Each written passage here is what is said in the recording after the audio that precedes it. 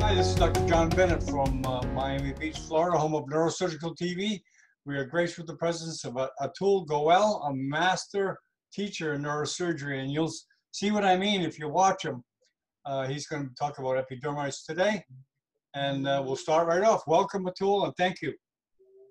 Thank you, John. And thank you all the participants. because we have time today, so I like to go slow. And I want to be more beautiful because epidermoids are slow growing, beautiful tumors of the body, of the brain. Epidermoids grow slowly over several years and uh, they are called pearl-like tumors. Obviously, these pearls are beautiful tumors. But I must tell you that these are not so beautiful.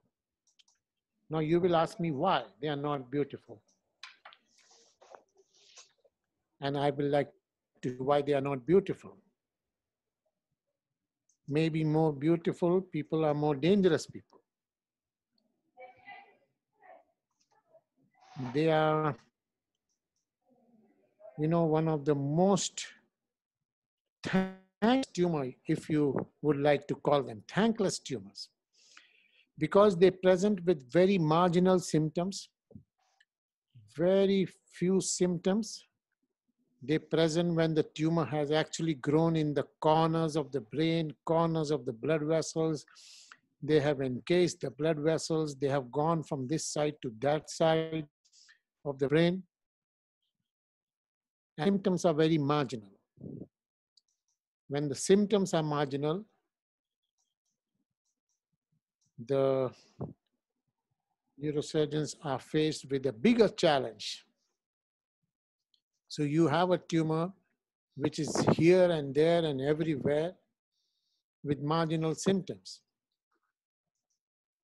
So you are not supposed to harm the person and you are supposed to treat him.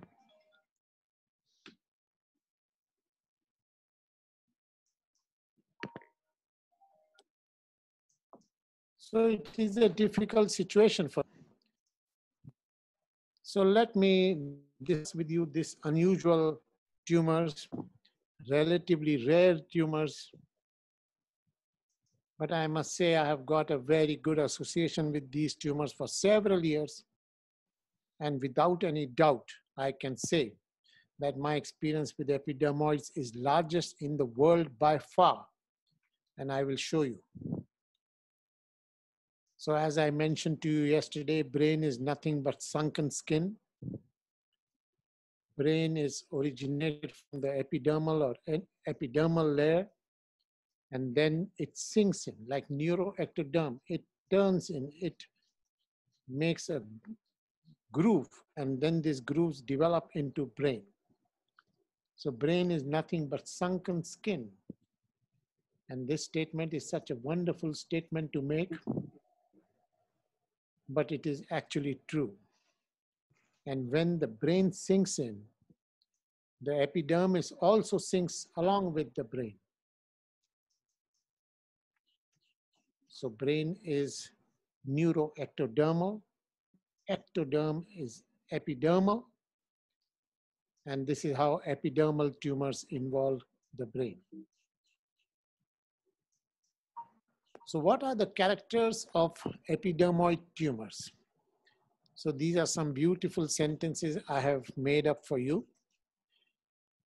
They proliferate slowly to acquire bulk over several years through discrete silence. So you, they will be silent for a long period of time and they acquire that bulk by growing slowly and proliferating slowly over several years.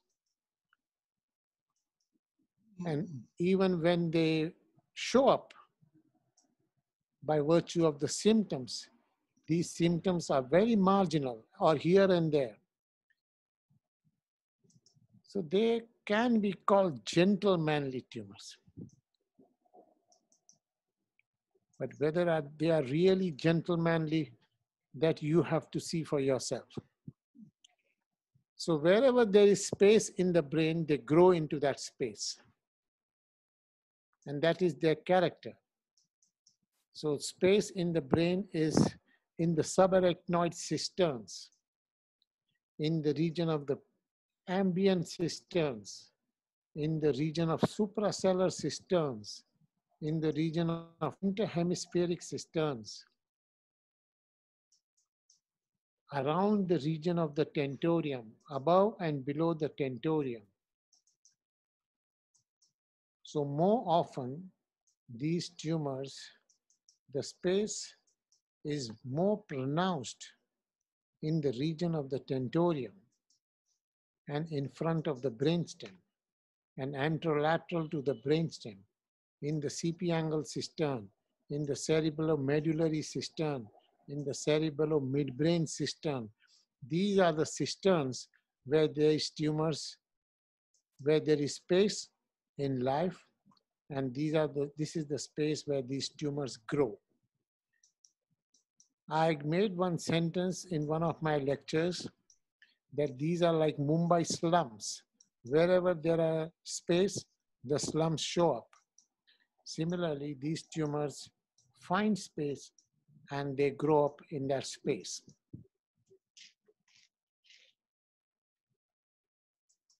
Epidermoid tumors, neural crest cells are migrant cells. These cells are sitting on the fence. They are neither neural, neither clearly ectoderm, but bit of both of these tumors.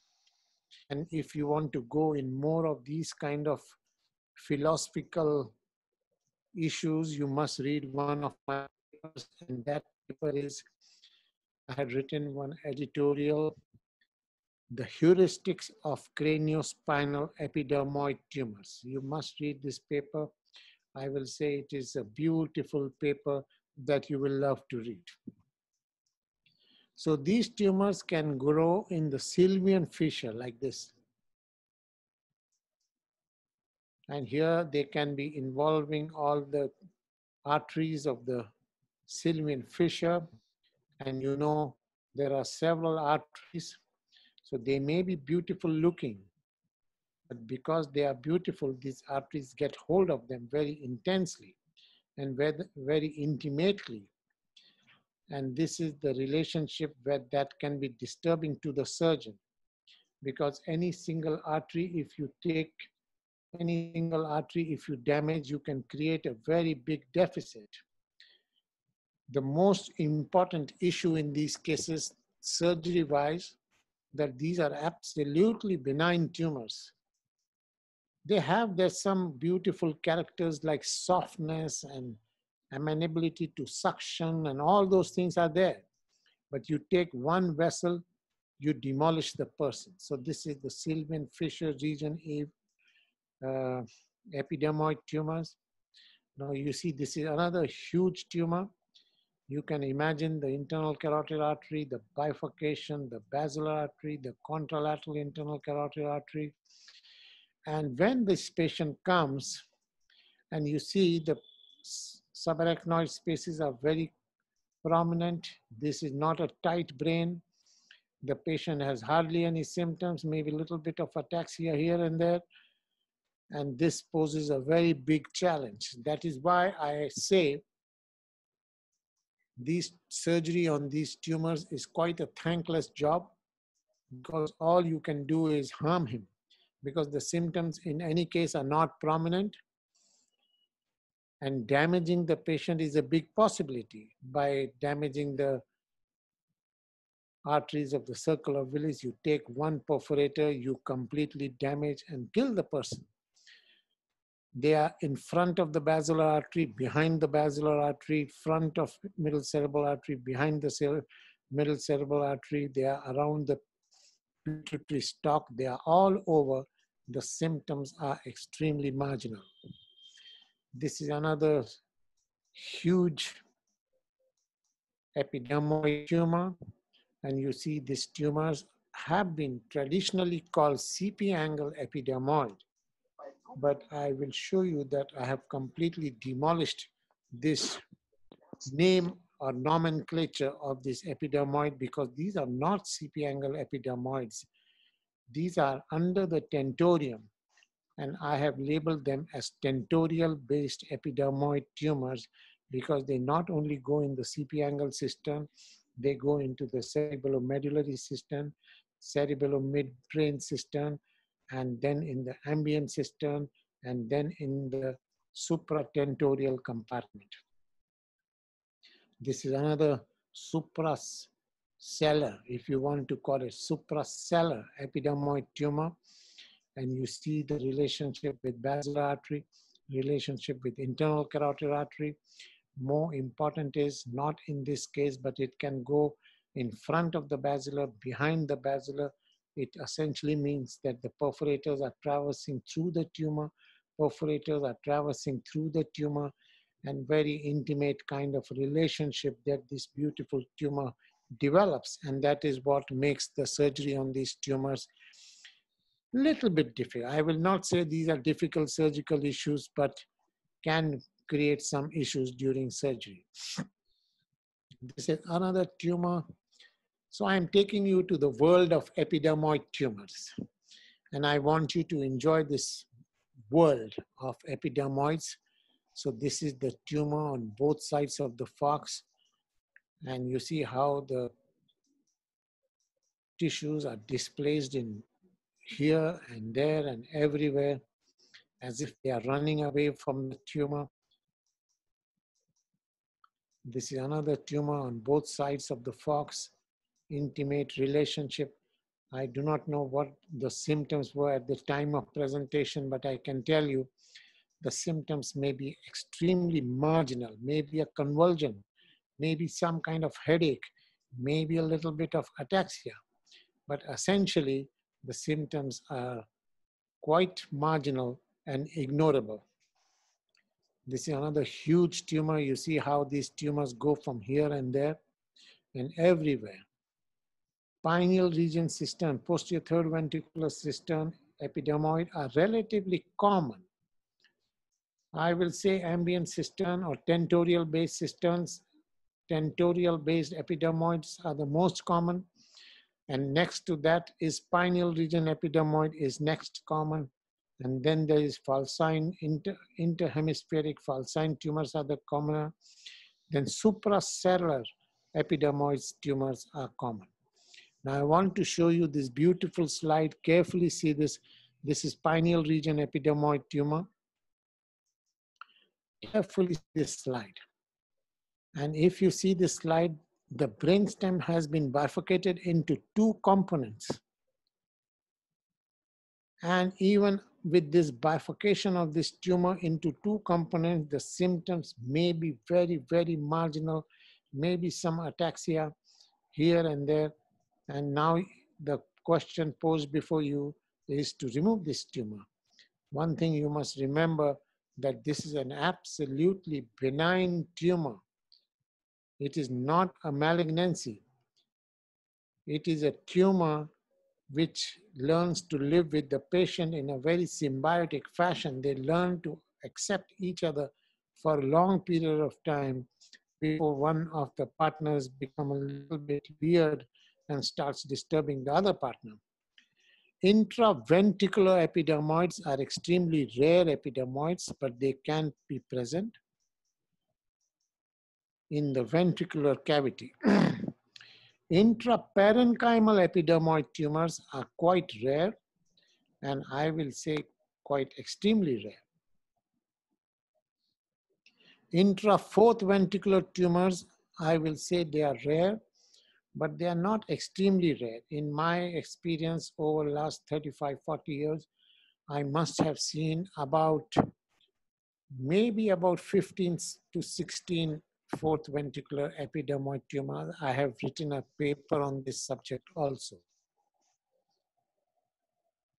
Epidermoids can be small epidermoids when they present with symptom of trigeminal neuralgia, which is a very common symptomatic presentation of epidermoid tumor with hemifacial spasm, with trigeminal neuralgia. I will say trigeminal neuralgia is one very common symptom of presentation. Earlier in our days, we used to get this information that trigeminal neuralgia is diagnosed by virtue of symptoms. There is no need to do any investigation, but trigeminal neuralgia is quite frequently a presentation of epidermoid tumors and hemifacial spasm. These tumors are so benign and so long-standing that they can be the whole life they can never present and you can identify them in postmortem examination. For some other reason you have done postmortem examination and you find epidermoid tumor in a postmortem specimen. And i have actually got epidermoid tumor when i was doing some cadaveric dissections. So epidermoid tumor is sometimes quite discreetly silent tumor, gentlemanly tumor throughout the life without disturbing the host. Sometimes they can be present with some other tumors, like I had reported several years ago in the presence of epidermoid tumor in presence of some other tumor. So this was in presence of, uh, these are, there are two tumors here progressive hearing loss, diplopia, right hemiparesis, magnetic MRI shows lateral pontine enhancing tumor with CP angle epidermoid. So two tumors in proximity. I do not remember what the other tumor was. Maybe a glioma, maybe intraxial tumor, maybe some kind of uh, other tumor. But there are two tumors here, and I had we had reported a collision tumor. So they can be in collision. And this is actually a post-operative image where the tumor has been resected. So they can be huge. You see, these tumors can be huge and they can go in every nook and corner, but they have some special surgical, you know, they give way in a special way, which I will show you. So this is another huge tumor. In my world of epidermoid tumor, you can imagine I will say this is quite a straightforward surgical problem. Another space which is not very commonly occupied by epidermoid tumor is cavernous sinus. You see, its cavernous sinus is a CSF cistern with Meckel's cave, so it can occupy the space of cavernous sinus. This is a beautiful tumor. You see, this is cavernous sinus part and like a trigeminal neurinoma. I was showing you the other day, trigeminal neurinoma. Similarly, exactly same anatomy between the dural spaces of the trigeminal nerve. And this is in the posterior cranial fossa. of course, here it will be in the subarachnoid space. So this is like a trigeminal neurinoma. So we had reported this giant multi-compartment epidermoid cyst of the cavernous sinus. This one multi-compartment like a trigeminal neurinoma. This is another tumor where I had recently demonstrated this by surgery from here to London in a course organized by George Samandouras in London, where we were supposed to operate in our own country and show it in London. So I demonstrated two cavernous sinus tumors in that course from here in one course and in the other course I demonstrated five cases. I am not sure if anyone of the panelists had attended that course, but this is one tumor I have shown live. And there were several participants sitting in London where I had done a, I had opened the cavernous sinus to remove this tumor and this is post-operative image. Intracavernous location of epidermoid tumors is a relatively rare location. This is that case again, which I'm showing you, intracavernous like epidermoid, and this is post-operative image showing the tumor resection.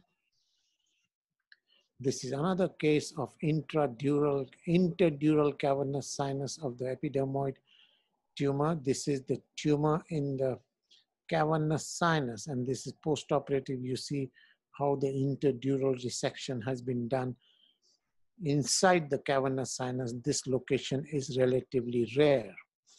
I had another huge case like massive trigeminal neurinoma massive interdural cavernous sinus tumor, epidermoid tumor, and you can see the erosion of the temporal brain.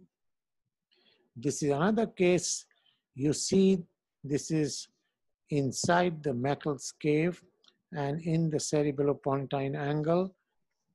And I don't like to call that cerebellopontine angle tumor and you will know very soon why. Because I like to call them tentorial-based epidermoid tumor because these are based on the tentorium and then they go above the tentorium and below the tentorium in proximity to the brain stem and then in proximity to the basilar artery and to the proximity of other very important cranial nerves in this vicinity of this tumor. This is another tumor in the tentorium-based epidermoid tumor. Now, sometime I showed you yesterday that these can be very similar dermal tumor is endodermal tumor, which can be exactly in front of the brainstem. The imaging features are discrete, but sometimes these imaging features can be similar to an epidermoid tumor. They have soft calcification. Basilar artery is in very close proximity to these tumors. They are relatively very straightforward tumor because the content of the tumor is like fluid and like you can easily suck away that fluid. This is another endodermal tumor. I showed you that these are rare tumors, but they can be simulating epidermoid tumor. I had reported seven cases last at time. Now I have about 32, 33 cases of these endodermal tumors. They are dark on T2, bright on T1, just open the capsule with a very small exposure, evacuate the cyst content, and then remove the wall as much as possible.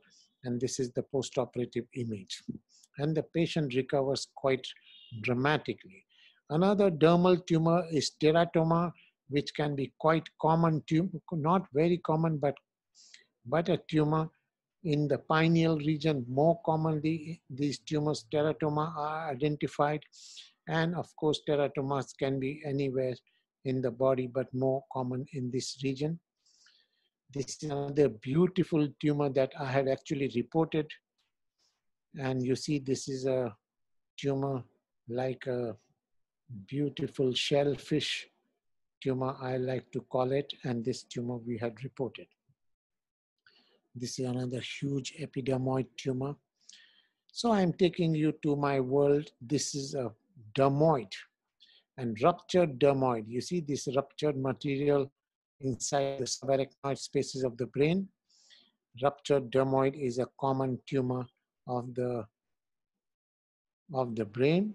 And when it is ruptured dermoid, it is the contents are like epidermoid tumor, but they are quite the capsule is very thin and that is why it dis disseminates into the brain. You don't have to remove this tumor, you have to remove the bulk of the tumor here. So imagine this was my experience till 2008, about 12 years ago. After that, I have never written on this subject. And if I collect, you see 135 cases, so very big experience even at that time. Now, of course, in the next 12 years, my experience is quite a huge and no question, largest experience in the world on these tumors. Now let us go on the surgical issues of these tumors.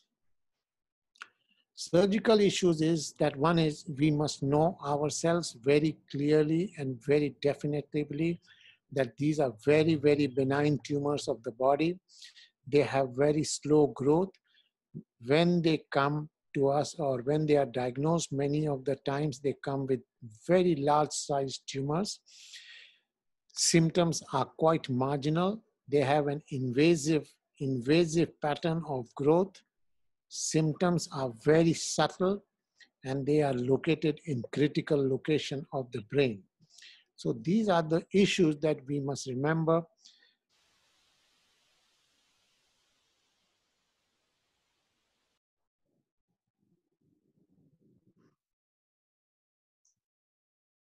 Okay, well, everyone knows the fire drill. This, there's an outage in the area is. Oh, Yes, okay, John? It popped right back. Yeah, Okay, yeah. okay. Carry on.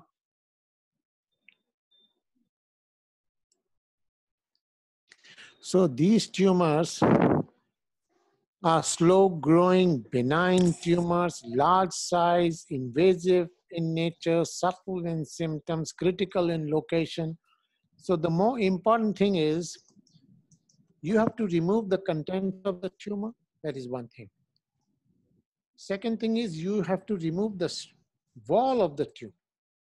The wall of the tumor is actually the main culprit, which gives which give the tumor arises from the wall, epidermal wall, epidermoid. But the wall of tumor is can be a little bit more dangerous to remove. So remove the wall as much as possible, more aggressively, but you cannot compromise any single. The bottom line is you cannot compromise on any single perforator or any single nerve. More importantly, suppose you damage the sixth nerve the patient will be never happy. So it is a thankless operation, difficult operation at times, and a thankless operation. Frequently, these tumors can be quite incidental. Sometimes they will be associated with collision tumors, and I like to call them anterior tentorial based epidermoid tumors. And if you see this slide, I wish you can you can see this article of mine in the year 2006. And I must tell you, I know the panelists sitting here, and I can tell you that this article is a revolutionary article in the subject of epidermoid tumors. Revolutionary. You will ask me why. And I have to answer this tumor because these tumors are not CP angle tumors. These tumors go up above the tentorium, below the tentorium, and along the tentorium. They are never actually only CP angle. They are in the cerebellomedullary fissure, in the cerebellum midbrain fissure, and they go above the tentorium in the region. And if you know that they are along the tentorium, then you can most astounding approach is supracerebellar approach to these tumors. And I have done several tumors of this, this kind, supracerebellar. And the most intimate relationship of this tumor is with trigeminal nerve. And I have even speculated the trigeminal nerve relationship with these tumors, why the trigeminal is associated with epidermoid tumor. In, this article, I had mentioned that because it supplies the skin, maybe some kind of relationship with origin. Supracerebellar, first time in the literature we described that CP angle is not the approach for this tumor. Supracerebellar is the approach for this tumor. Then you debulk the tumor, debulk the tumor because they have special characters. You debulk the tumor, then you cut the tentorium and go above the tentorium. So then you remove this tumor. Once you get a space, then you come in the CP angle in the vicinity of the cranial nerves. Most dangerous cranial nerve in this tumor is the sixth cranial nerve. And that cranial nerve you have to protect. And that is the main cranial nerve that will be a troublesome cranial nerve for you because that cranial nerve has to be preserved and this is post-operative scan. If you damage the sixth nerve, you have damaged this person. That is one thing that you can damage. If you damage any perforator in the vicinity of the basilar artery, you have damaged the person. You cannot damage anything. And that is a challenge for the surgeon. So I will like you to read this beautiful article of mine. This was the largest series at that time. And of course, this was 15 years ago. And now in the 15 years, I have got a very further, very big experience. And at that time, my experience with pineal region tumors epidermoid was also the largest in the world. 30, 24 cases. So on the strength of my experience, I am going to give you my presentation and I will give you, because I know many young residents are sitting, I will give you a message as to how to remove these tumors. So these tumors can frequently be presenting themselves with, a, with trigeminal neuralgia, hemifacial spasms, and things like that. And these tumors, this is preoperative tumor. You imagine the relationship with the brain stem. Imagine the relationship with various structures around the vicinity, basilar artery going in this region in the temporal brain. So I have told you that these tumors should never be removed from the CP angle. The cranial nerves are displaced laterally by these tumors. The best shot on this tumor is supracerebellar, and this was a revolutionary article of mine. These tumors are based on the tentorium. They go into all the kinds of fissures that you have heard of. And more importantly, they go in front of, in above the tentorium, a large component of this tumor. They encase the basilar artery. The perforators traverse through the tumors. Cranial nerve, sixth nerve is in the vicinity of the tumor. Fifth cranial nerve is more often displaced laterally by the tumor seventh and eighth cranial nerves are displaced laterally by the tumor. So super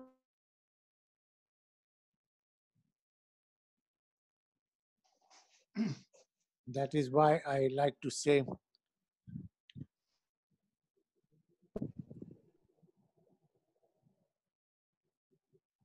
that is why I was saying that this uh, this paper of mine is a revolution in the field of epidermoid tumors and you have to say you have to accept that. And also i have to warn you that for some time between 620 to 630 my video will my internet connection will disappear because i don't know why but this time they don't like me to work. But i will show you as much as i can show you. Very rarely these tumors can be associated with some calcification these calcifications are extremely rare, basilar artery encased tumor. Tumor above the tentorium, below the tentorium in all the fissures that you have heard of.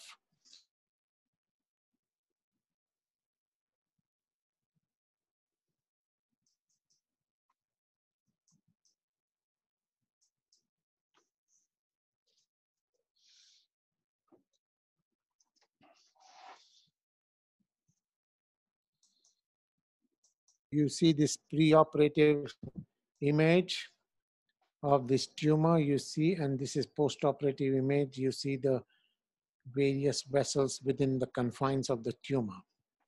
This is another tumor. I think you have seen this. This is another huge tumor above the tentorium, below the tentorium.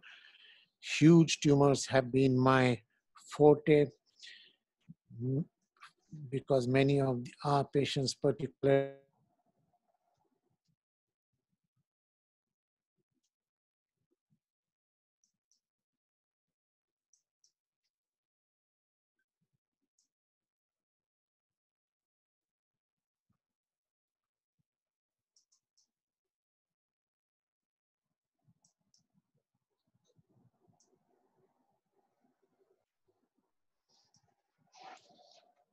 Okay, we may be frozen here. Just hang in there.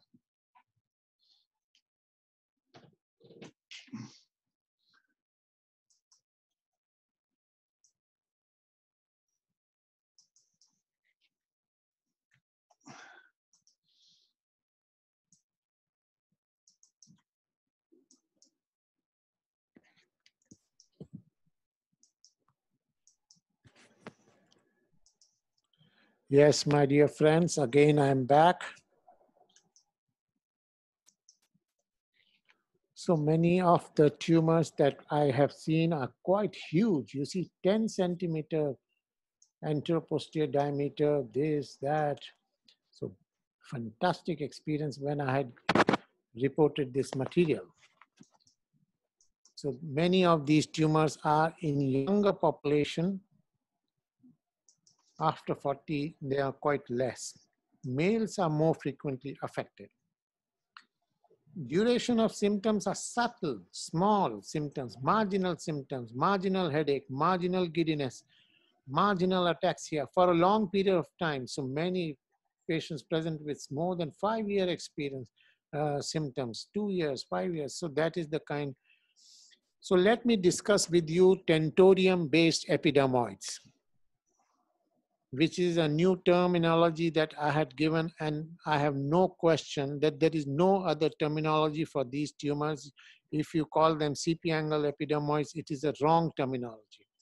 Tentorium-based epidermoid tumors, the fifth nerve is maximally displaced laterally.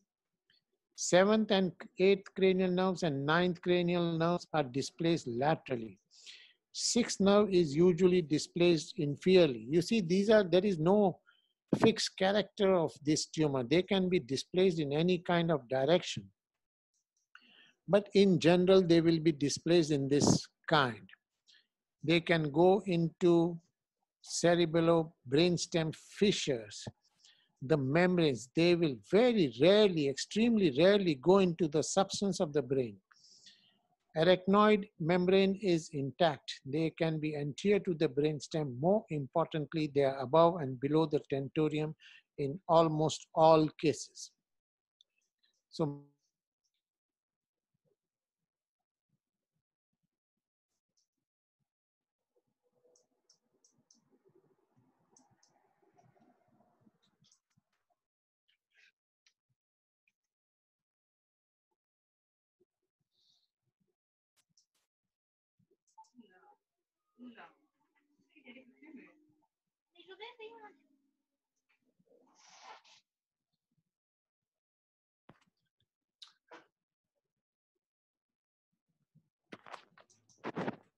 You know what, John? Yeah. It gives the panelists some time to relax from this high power philosophical kind of. So you just relax, okay? If there are some interferences, just ignore them. So uh-huh. headache is quite a common symptom, gait disturbance, facial numbness, vertigo is a very common symptom. Diplopia, trigeminal neuralgia is a symptom, hemifacial spasm,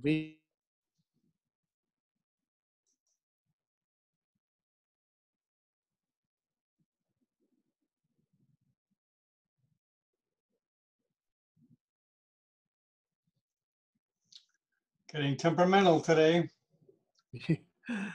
yeah, yeah, yeah. Yeah, back and forth the internet. Okay, so the symptoms are quite varied. More importantly, these symptoms are long-standing and these symptoms are subtle, not very intense symptoms.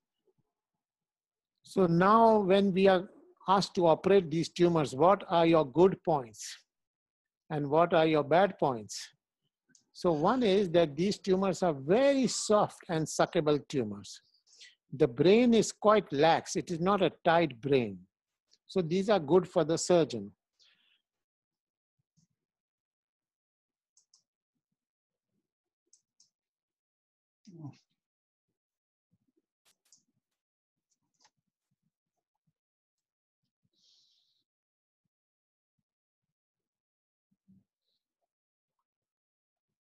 Negative points for the surgeon are that the distortion are quite intense.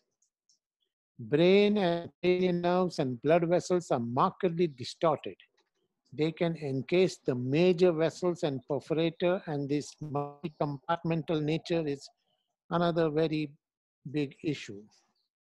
Now I would like to show you some surgical cases now, my surgery for tentorial-based epidermoid, I divide them into three stages. First stage is always, always supracerebellar revolution in the field of epidermoid surgery, supracerebellar. Second stage is cut the tentorium if necessary, then go supratentorial. And the third stage is resect the part in the CP angle.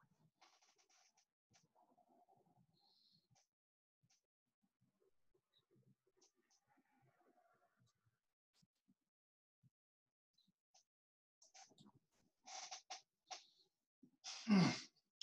It's worse than usual today.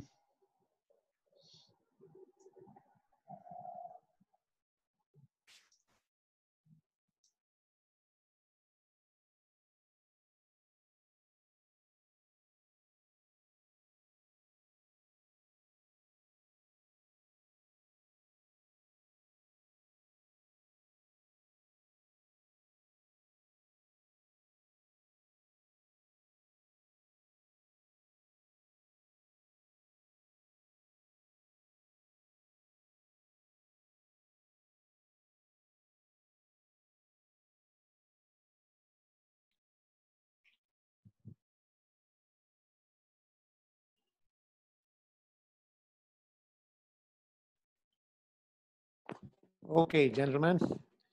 The most important and critical nerve in this situation is the bilateral sixth nerve along the clivus. And of course, the third nerve along the tentorium are very critical nerves. And more important is that if you want to save this person, you have to save each and every perforator from the basilar artery, which can be quite furiously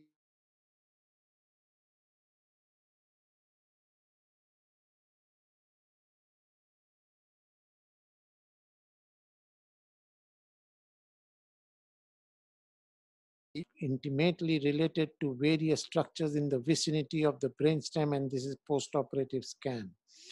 This is another tumor. You see it is above the tentorium, below the tentorium in every nook and corner and you have to be aggressive in your surgery.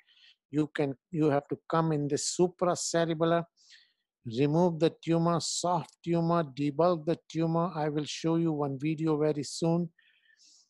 And then you have to cut the tentorium, go above, you have to reach the pituitary stalk. Sometimes you can see the chiasma, you can see the internal carotid artery. And I'm going to show you one case which is completely unedited tape. I'm going to show you for at least half an hour, so be prepared. And I don't want to edit that tape to show you the removal of the tumor in all nooks and corners. So this is preoperative you see how it is going and this is post-operatively the tumor is removed. Now, other thing which I want to tell the young people very, very clearly, complete tumor resection is important. Removal of the wall is important, but that is not your trophy. What is your trophy is to preserve the patient intact because there are many critical structures in the vicinity of your surgical trajectory vicinity of the tumor. Softness of the tumor allows you to remove these tumors, but you are not allowed to damage any single vessel or perforator or cranial nerve. That is why I say these tumors are quite thankless operation, but these are beautiful operation on a beautiful tumor. And that is beautiful tumor is epidermoid tumor. So this is the tumor of a different kind where you have to come in this direction this is postoperative. So many of these tumors are in the ambient cistern. Many of the tumors are, the surgical direction has to be supracerebellar. It is only rarely that you have to come from the Sylvian fissure, from the pterional approach, like in this case, where the tumor has been removed from the basal subtemporal approach. This is preoperative and postoperative image. This is another tumor preoperative and postoperative image. Tumor has been resected quite beautifully. This is another preoperative and postoperative image. So this is preoperative and postoperative. This is the tumor. Let me, John, I will like to show one full length video, full length surgery. Okay, John, are you ready? Yeah. So can you get me off the screen? Yeah, okay. Second. And there will be no editing that you must remember.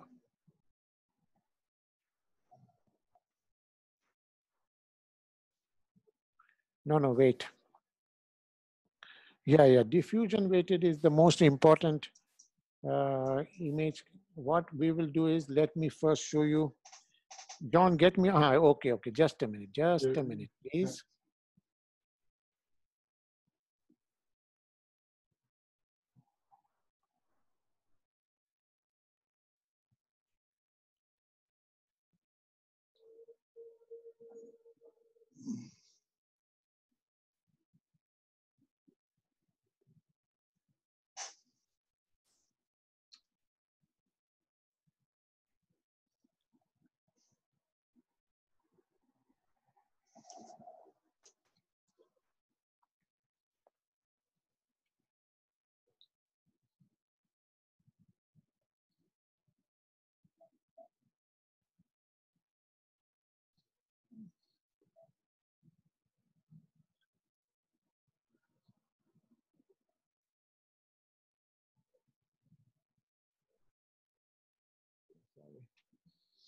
Oh, we fell off there. Get the video, John. No, you didn't share the video. Yeah, open the video, then, then share it.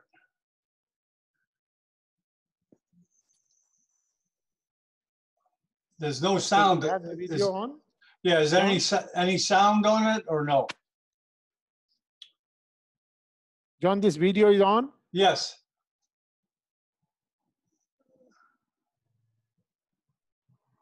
Think.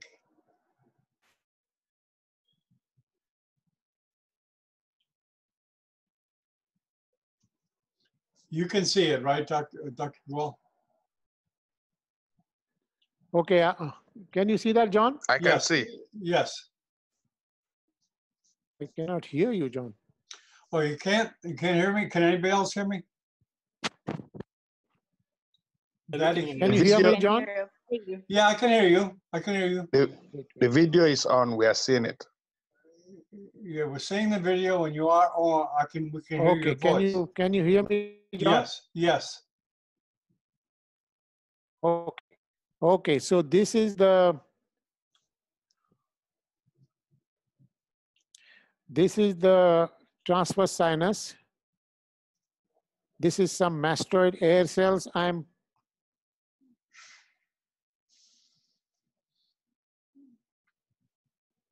so this is the transverse sinus. Here is the sigmoid sinus, extra sinus quite widely. Can you see that transverse sinus? Here is the sigmoid sinus. And this is the cerebellum, little bit wider exposure.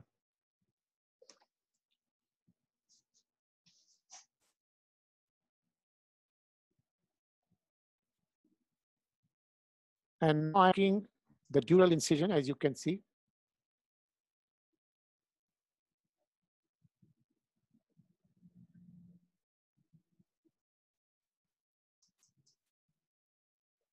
My dural incision is in the form of two flaps so that I can work in the supracerebellar compartment and in the retrosigmoid compartment. And I am going to show you largely an unedited version. Maybe I'll show a little bit editing here.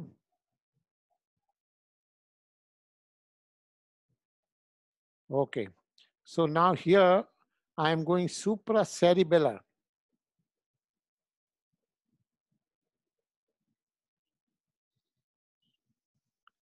Now you see the fifth nerve is directly in my view here. And if you can ima- if you see there is there is tumor medial to the fifth nerve. So first thing is to take the petrosal vein very early in the operation. Because if you don't take the petrosal vein, you cannot retract the cerebellum properly. So what I'm doing is I'm trying to take the petrosal vein early in the operation so that I can retract the cerebellum.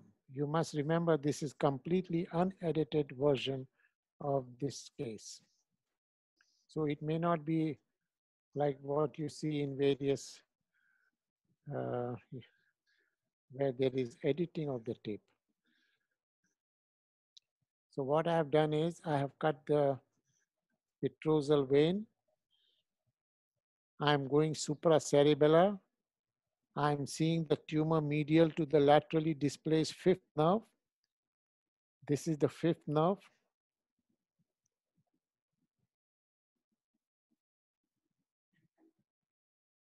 I am taking the petrosal vein because that is important step of this operation.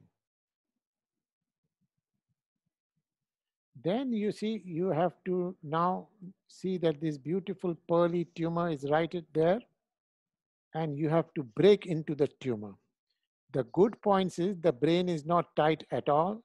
You have to open the cisterna magna initially to relax the brain and then you have to break the tumor. You see, I am breaking the tumor. Breaking the tumor, breaking the tumor. You see, this is soft tumor. That is the beauty of this tumor. That makes this tumor very, very, uh, I will not say easy tumor. There is no tumor easy in neurosurgery. This is the fifth, fifth cranial nerve. Then I'm breaking this huge tumor which is going everywhere. It is encasing the arteries and I may not be able to even label the nerves for you. Just imagine what is going on and what is not going on. Imagine.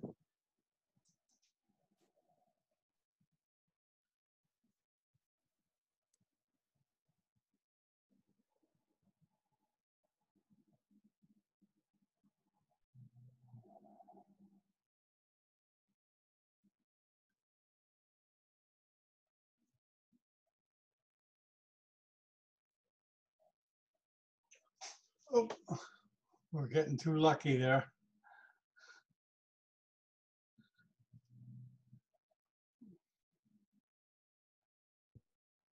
I will little bit open the voice also here.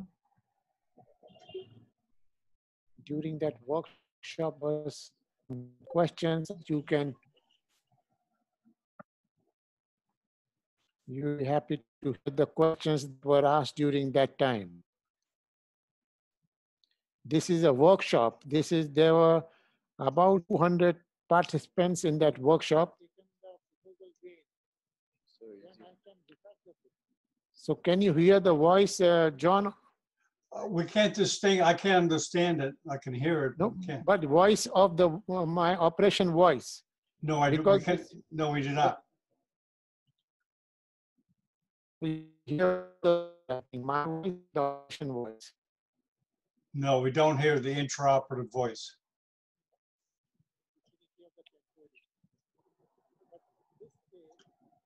It could be a bandwidth issue.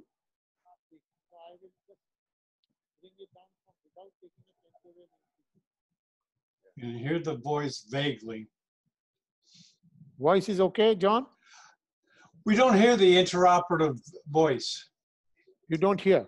No, Okay, so you, then I will go on uh, maybe just talking. yeah, you can comment on, on on it.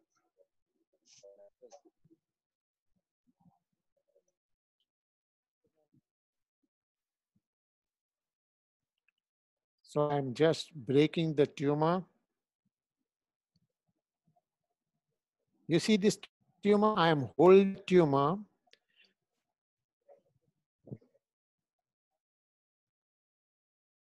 You see, I am breaking the tumor and above the dome of, and you see the brain is relaxed, supracerebellar approach. Did you get that approach, the most beautiful, astounding approach described for tentorial based epidermoid tumors. You see now there is brainstem here and this is completely unedited version of the tape. You must remember this. And above the dome of the tumor, there is the third nerve.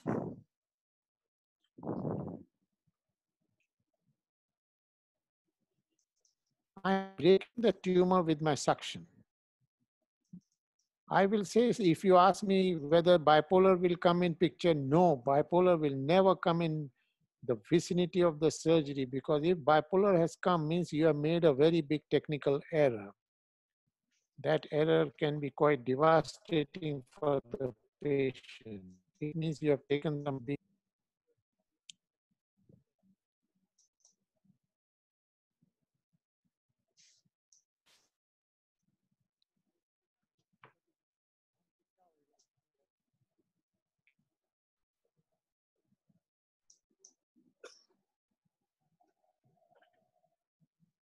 this uh, operation was uh, demonstrated in front of 200 people. And such workshops I conduct on a regular basis. And the participants I will like to invite, it is my open invitation to the participants to come and join one of these workshops. And I promise you, I will never leave you disappointed. That is my promise to you.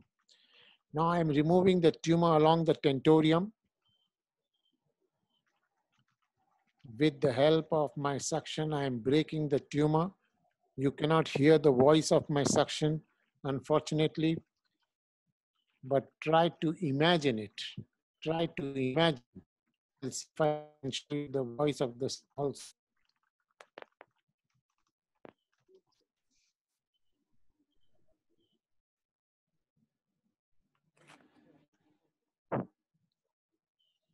Now I'm trying to remove the tumor above the tentorium.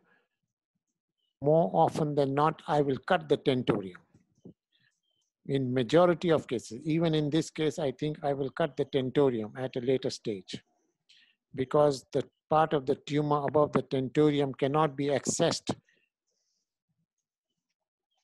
You see, these are relatively easy tumor to operate otherwise you have to use your suction in a very, very fantastic manner.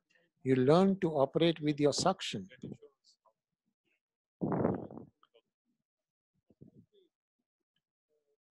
The tumor is a very, very fantastic tumor to operate. This come in picture.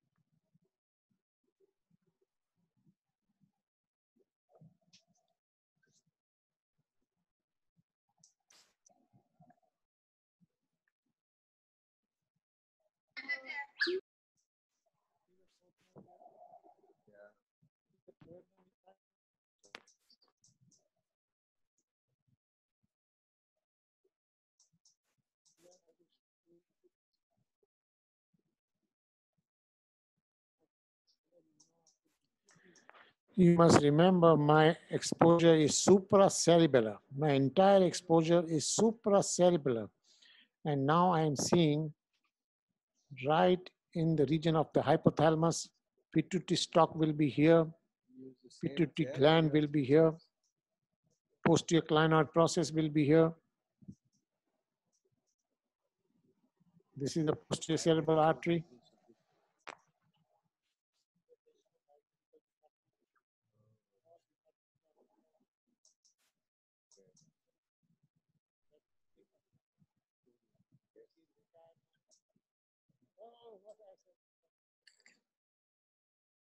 So earlier you used to never complain about big things. No?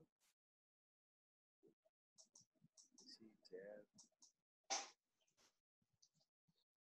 You must remember that this is unedited version, so there is some time, I don't know why time is being spent here, You but these things. Maybe I go a little further. So bare necessities of life.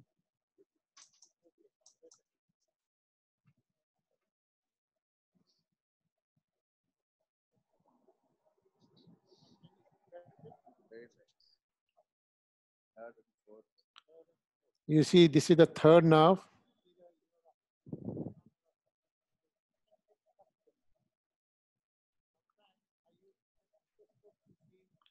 See, you can use an endoscope sometimes to use, but it is not, usually it is better to cut the tentorium. Protect the fourth nerve and cut the tentorium.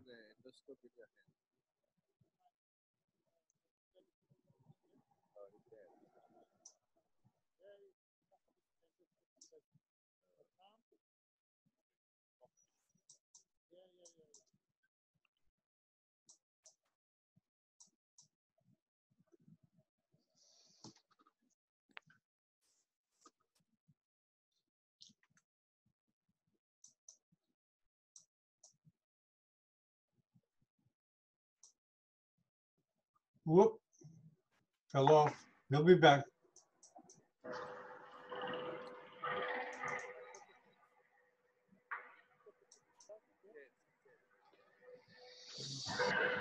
Can you see the pituitary stalk here? This is the hypothalamus pituitary stalk. And you see, this is the this is the view from the supracerebellar. You can see, you know, depending anatomy of the tumor, you can see the various structures. Let us see how far this has gone. I don't remember what this case was and how much was removed, but just this was in the workshop. Now this retrosigmoid exposure, you see, I have come retrosigmoid for a long time, that thing.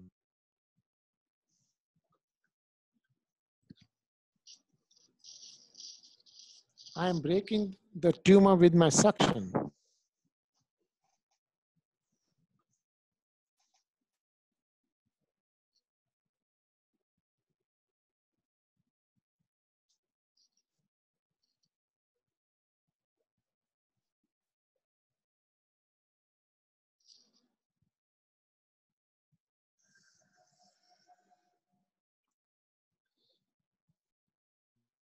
You see supracerebellar approach. This is retrosigmoid now here a little bit. Sixth nerve is going to be the most important nerve. So we have to protect the sixth nerve in this area. that is, the, this is the fifth nerve here. Sixth nerve is going to be here somewhere. This is this is the third nerve there.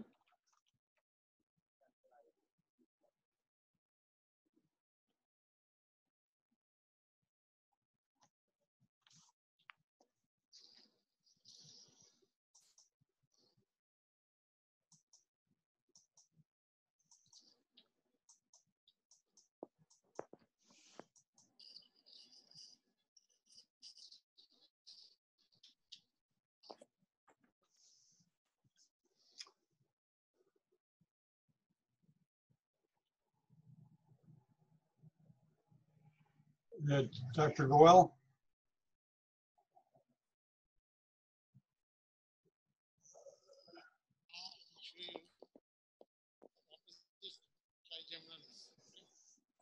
Hello, Dr. Goel? Just enjoy the dissection, my dear friends. This is a, you see, now, now you see here, I am going from the supracerebellar approach to the internal carotid artery is there. You just keep a watch here on the internal carotid artery.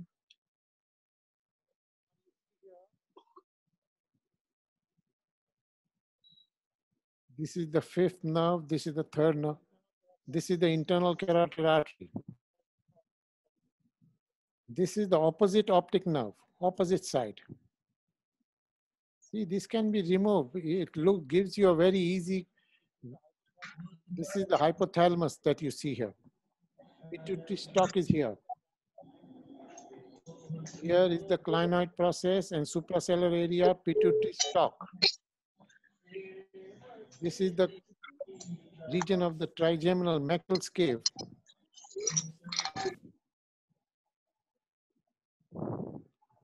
This is completely supracerebellar and retrosigmoid combined. Initial was supracerebellar.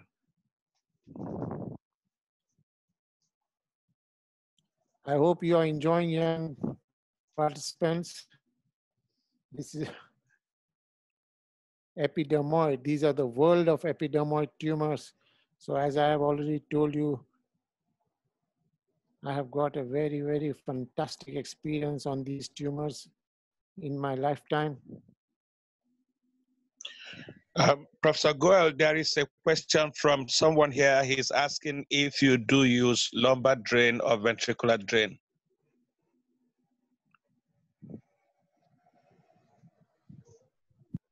Did you hear that, Dr. Goel? See, the brain is lax in this situation. That is the advantage. The tumor is soft. But problem is this intimacy of the relationship with the structures. You see here how intimately it is associated with the cranial nerves.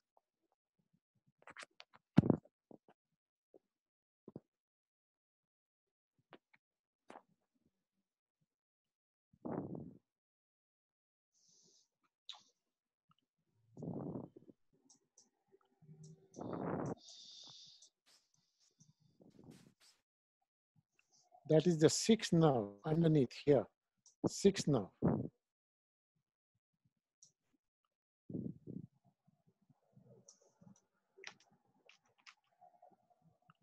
This is the fourth nerve, third nerve. PCOM artery, posterior, PCOM and posterior cerebral artery then will come. This is the PCOM on the other side here. This is the internal carotid artery.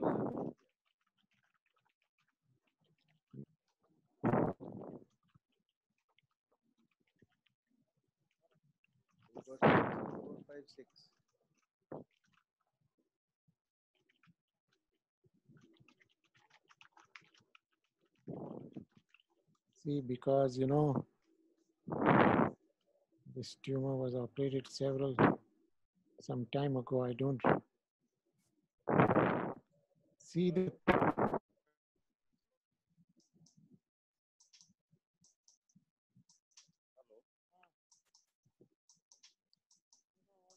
See, this is the sixth nerve, and I am protecting the sixth nerve. It is the most important thing to protect the sixth nerve, as I have mentioned.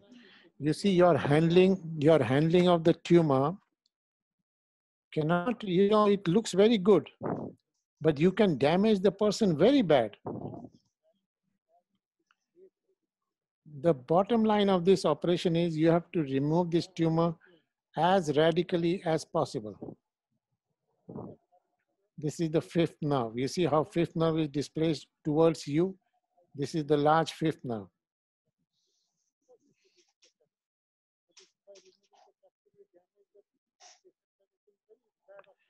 So you have to remove the capsule, but that does not mean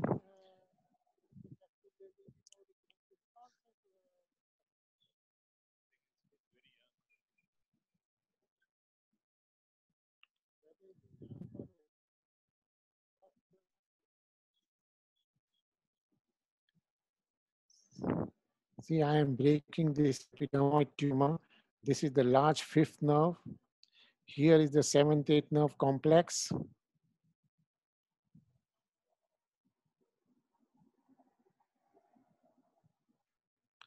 The most important thing is you cannot damage anything. As long as you are sure that you are not damaging anything, you can continue with your operation. As soon as you identify that, oh, there can be some damage by my dissection, you have to necessarily stop. See, here is the sixth nerve here.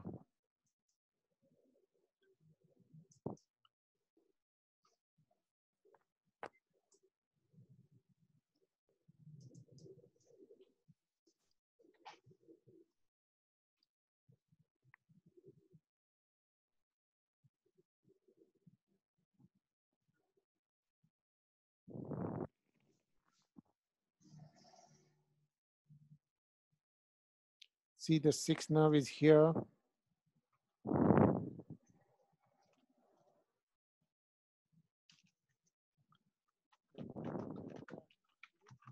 You see here is the basilar artery. If you, so most of the tumors will be of this, this kind of consistency. And here is the basilar artery. You see, most important thing which I am trying to show you is my exposure. And as I mentioned to you, supracerebellar approach to these epidermoids, which I like to call tentorium-based epidermoid, is one of the most revolutionary approach to these tumors. And there is, you should not have any doubt about it. If it's, if this tumor comes your way, you have to, you have to, without any question, you have to do this way. Now you see I'm dissecting in that area.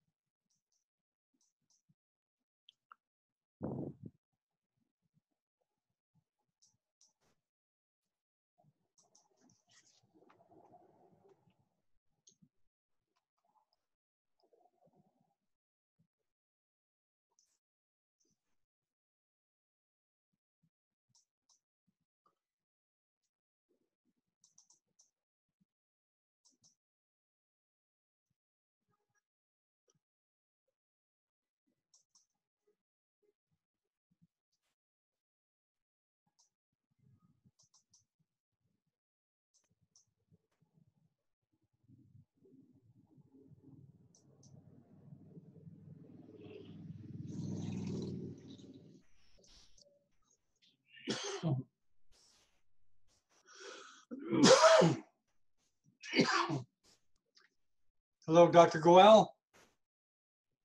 I think we're gonna have to wrap it up. uh, soon. Dr. Goel?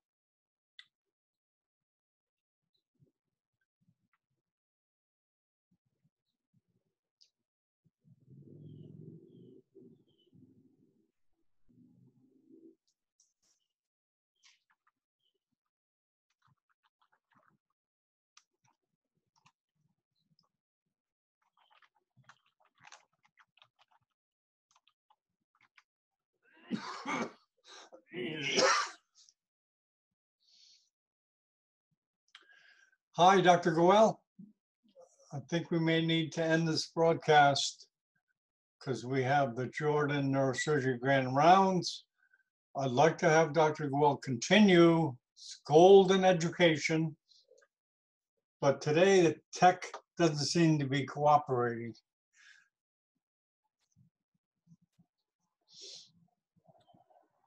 So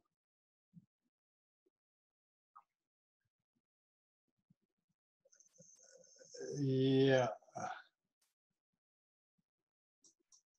Does anybody have any comments? Uh,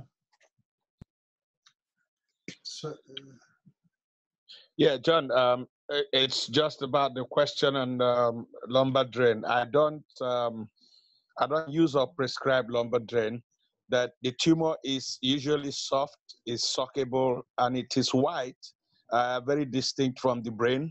And therefore, if you use mannitol, it will suffice. Um, you just you just get into the tumor. The moment you start sucking, like you said, you don't particularly need bipolar. The moment you start sucking the tumor, uh, most of the brain will relax, then you have more space for maneuver. okay, Thank you. Okay. I wish Dr. Atul was here. Anybody have any comments on what uh, that Dr. Canoe had to say?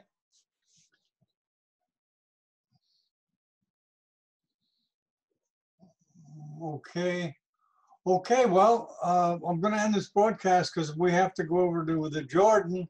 Dr. Sabea, I have to set up for that. So thanks everyone for coming. Sorry about te- technical problems. It's worse today than usual. And I think uh, Dr. Canoe, yes, go ahead. Yes, we have to go. Yes. Yeah, we just hold on for two, three minutes, let him come back and then we'll end it. Okay, okay, okay. we- trying to come yeah. Yeah, we have to end it pretty soon because I got another webcast.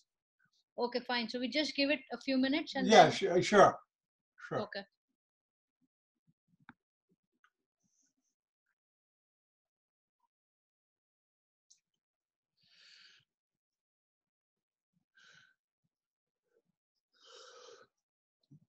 You have to pamper the star player.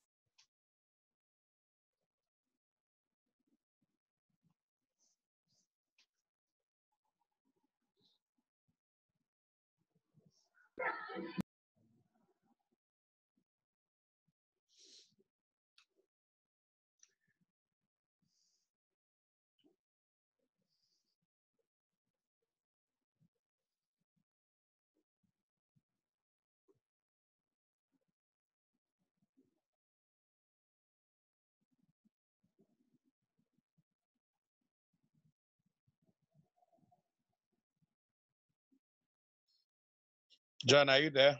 Yes, I am. Okay, it, it appears uh, Professor Goel is not responding. Well, uh, his associate, Dr. Abby, Abby has mentioned that he's coming back in a few minutes. So I'm gonna wait a few Okay. minutes, wait a few minutes, and if he doesn't come back, I have to go to Jordan.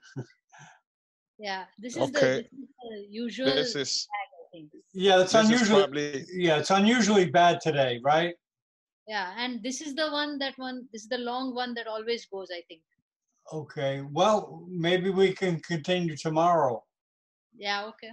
Okay, I'm sorry about that. Dr. Goel- Dr. Goel's coming in there. Let me explain. Yeah, we can tell him. in. Yeah, Thank you to Professor Goel. Uh, we appreciate everyone. thank you. Dr. Goel, are you there? Yeah, yeah, I'm there, John. Sorry for all this kind of things that are happening. But okay, now you are with me, John. Yes, uh, I have to go shortly. We have another conference soon. So how much time we have? Uh, we already went over, but five minutes, uh, is that okay? Okay, To okay. wra- To So, wrap it up, to wrap it up? so just let us wrap it up. Up till now, it was completely unedited, but now I will maybe little bit edit here. We'll make it 10 minutes. 10 minutes, okay.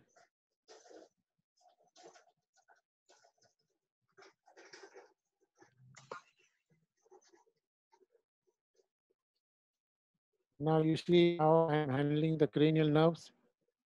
You have to be absolutely sure that your handling is not going to damage the person. If you are not sure, you cannot do. That is the bottom line. You see, and this this uh, handling will depend on your experience with these things.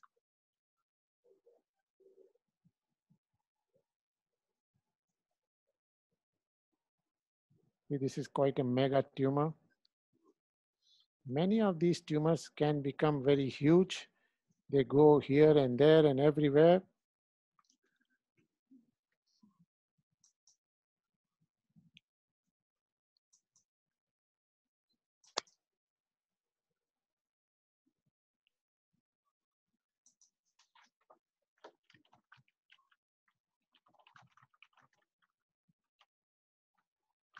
See now this is retrosigmoid, this was supracerebellar. Most important is in this operation, there is no role for any kind of coagulation. These are the lower cranial nerves here.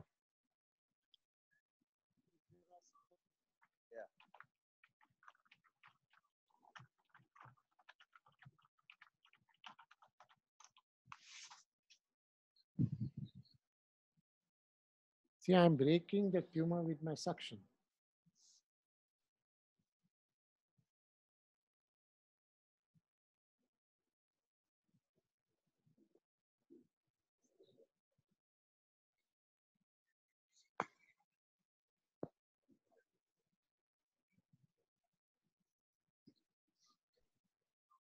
This, this art of breaking the tumor will have to be learned. Unfortunately, there is no shortcut to it. Gentle suction, gentle.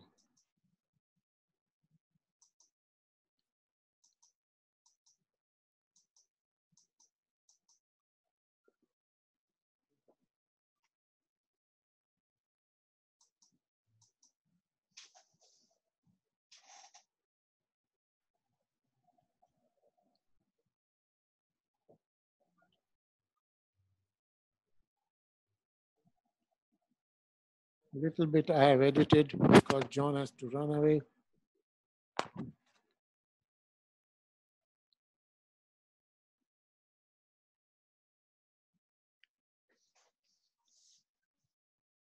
See,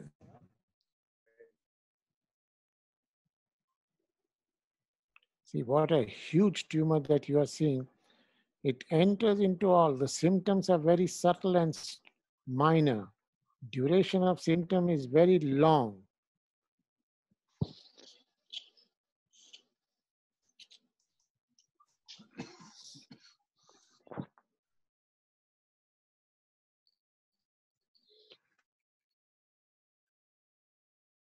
The tumor is going along the tentorium, right in the ambient cistern. This is the brain stem here now.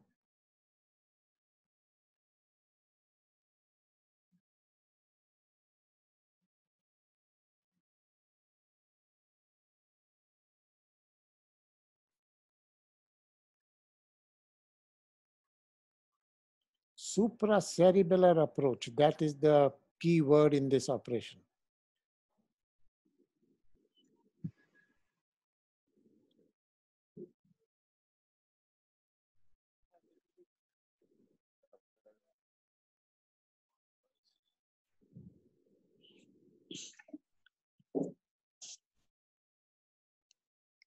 difference between acoustic and this. There is no blood to irrigate your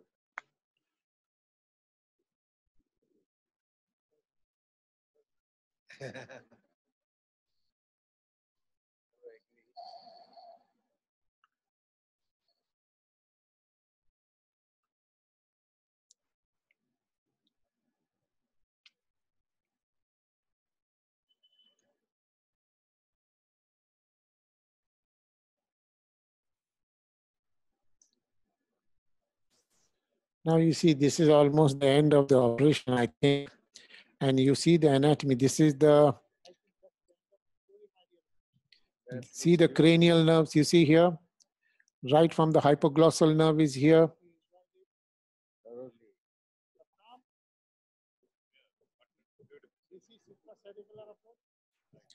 You imagine the supras, you imagine the supracerebellar approach. And here is the internal carotid artery on the other side. Tentorium has been cut here.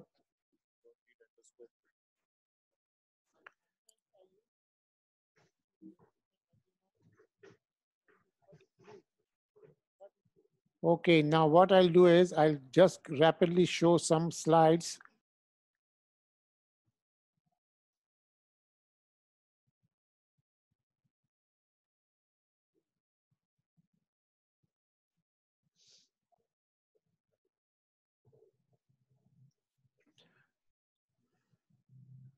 John, your slides are there with you? Yes. Okay. So this is the supracerebellar approach. I don't know whether this was the tumor I was showing. I am not sure. But this is post-operative of some other tumor maybe. And you can see the anatomy seen from here in the other side. The hypothalamus, the pituitary stalk, the internal carotid artery, and the tumor has been quite radically removed. See, more than radical removal of the tumor, it is the preservation of all nerves. It is the preservation of all blood vessels. So you can use, I had described contralateral approach to hemispheric tumor long time ago. And then I had described for meningiomas, for interaxial tumors. I had even described for in, interhemispheric AVM. You come, get these arteries first, and that's these veins later, this approach I had described. But you know what, some, this medial temporal epidermoid tumor, which is completely in the middle fossa, I had removed by lateral supracerebellar transtentorial approach. So this was the first article in the literature which showed resection of a supratentorial tumor by a posterior cranial fossa approach. Now, why I use this approach, there must be some special features in this tumor. Subsequently, if you've seen this was in 2010, then there were many other papers written about removal of the uh, cavernoma, this approach, and epilepsy surgery from this approach, but this was the first article on this subject. Pineal region tumors have their own characters. And of course, today I don't have time to show you, but this is a pineal region tumor. You see beautiful anatomy. You can see from here, from supracerebellar approach, the nose of the patient also can be seen. Of course, not the nose, but the entire territory fornices and velum interpositum and things like that. Beautiful supracerebellar approach for these tumors.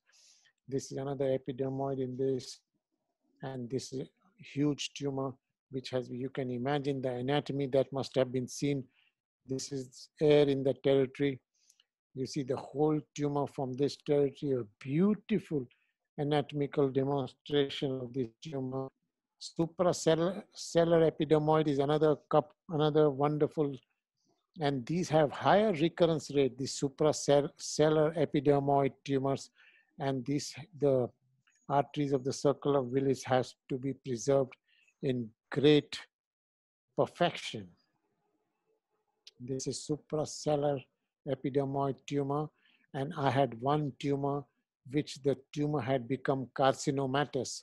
Squamous cell carcinoma developed in form of a collision tumor. So this was very rare case that I have reported. So thank you, ladies and gentlemen. And I hope you enjoyed a brief presentation on the world of epidermoid tumors. And I will be happy if you have some wonderful questions for me. Well, I may have to cut you short there, Doc. I'm, I'm gonna go. Okay. No, no problem, no problem. Maybe, maybe tomorrow we can get to them. Uh, Are you lecturing tomorrow? Okay.